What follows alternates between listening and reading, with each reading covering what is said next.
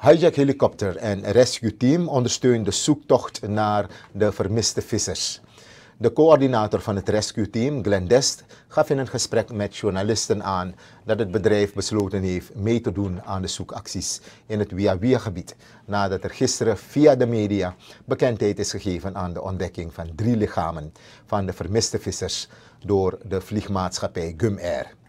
De onkosten voor de zoektocht worden door Hijet zelf betaald, zegt Dest. Is ook voor ons de tijd om, om, om ook onze bijdrage te leveren. Het is belangrijk dat we het doen.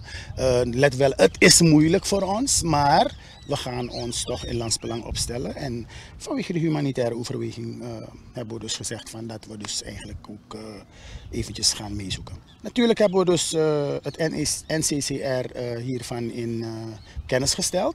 En het NCCR heeft gezegd van jongens, all hands on deck. En we zijn uh, met uh, aanwijzing van het NCCR zijn we ook bezig. We moeten dus heel eerlijk zeggen dat wij alvast vandaag beginnen. Als, uh, als we dus de andere dagen nog kunnen redden, dan, dan horen we dat wel.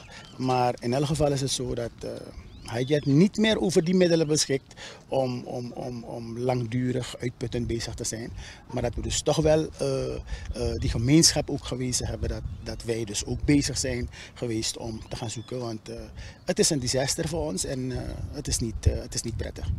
Hallo Glenn Dest, de coördinator van het rescue team Hijet in gesprek met journalisten over het besluit van de helikopterservice om de zoekactie in het Wia-Wia-gebied te ondersteunen. Ondertussen heeft Star News bekendgemaakt dat een vissersboot gisteravond voor de kust van Matapika weer slachtoffer is geworden van zeerovers. De politie is samen met vissers op weg naar de plek waar de melding is gedaan. Mark Lal, secretaris van het Visserscollectief, zegt dat al duidelijk is dat de kapitein van het vaartuig is gedood. Over de andere bemanningsleden is er nog niets bekend.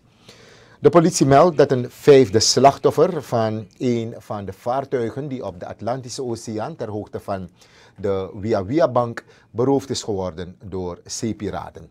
Vandaag is gesignaleerd ter hoogte van Braanspunt.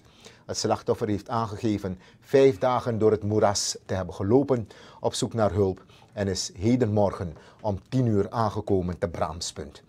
De man die verwondingen heeft over zijn lichaam is door vissers die in de omgeving waren opgevangen. Ze boden hulp en namen contact op met de maritieme politie. Het slachtoffer is door eh, de politie opgehaald en overgebracht naar Leonsberg, waar hij per ontboden ambulance is afgevoerd naar een ziekeninrichting voor medische hulp.